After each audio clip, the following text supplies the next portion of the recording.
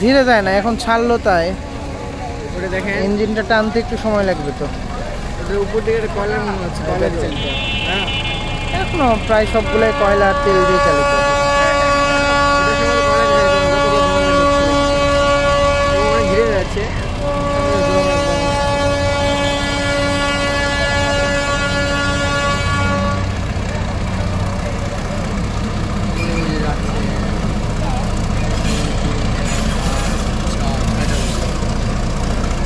চলো আমাদের নামাজ পড়তে হবে।